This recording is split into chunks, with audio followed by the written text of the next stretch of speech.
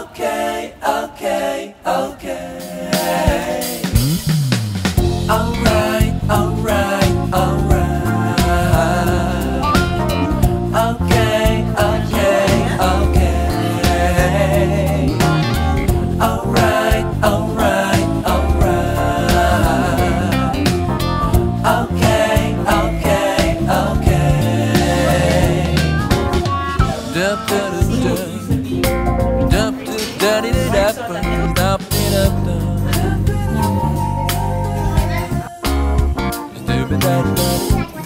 Hello guys and welcome to my vlog. And we are here today at Oregano Restaurant. Uh, this restaurant is an Italian restaurant. So, ito po yung mga menu nila. Tingnan po natin. Yan, yan, yan. Hindi siya clear. Usually, yung mga menu po nila is pizza, Discount ah. pasta, and vegetables. Yan, guys. So, yan po yung mga menu nila. So, let's let's try, guys, kung masarap ba yung mga menu nila. And, tingnan natin, guys, kung masarap ba or pasok ba yung mga...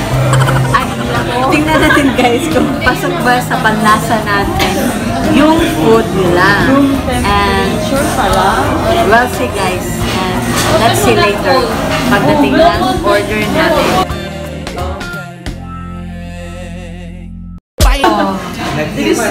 Guys, ang daming food. Tingnan niyo. Oh my God. May pinuhit ni daw na Pilham. Ang daming food, guys. Pero lahat patay, di ba? Meron din post, di ba, na dalawa, dalawa, dalawa silang mag-asawa patay. Tapos,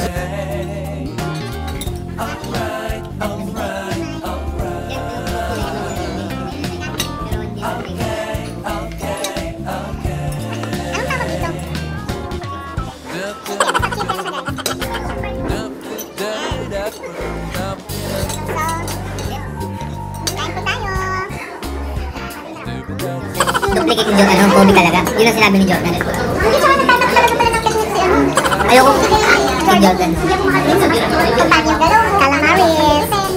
Kasi nagkalaban sila, si Jordan, parikad na. Si Kobe, pasulong pa lang.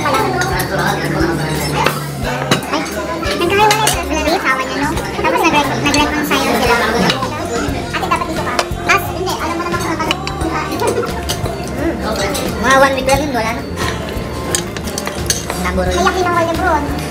Bakit? Post sila eh. Yung Lebron James, nag-post siya. May pinost siya na parang, Yung kaibigan tatlo na yun eh. Oo, parang Siyang tatlo ni Dwayne Wade. bini- binibiro-biro niya si ano, si, si, si Brian? Nalimutan yung pangalan. Si Shaq ang mas naapektuhan talaga. Kasi Sino, te? body niya talaga yun eh.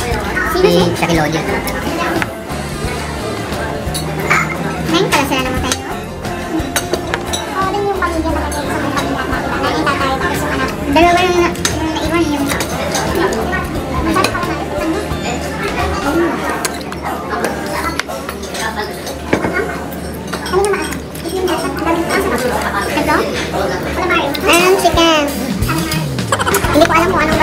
Chicken.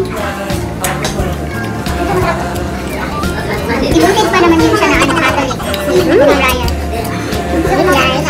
Basta maasa may lemon.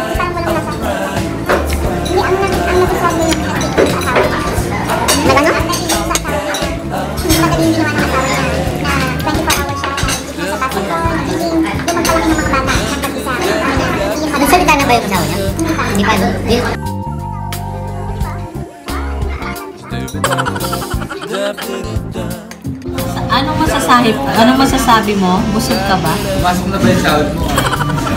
yes, busog na busog. As in, sulit na sulit. Hmm?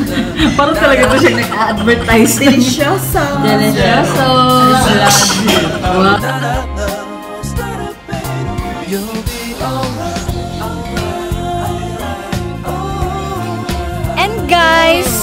Busog na po kami and pabalik na po kami sa aming office and wala na akong lipstick.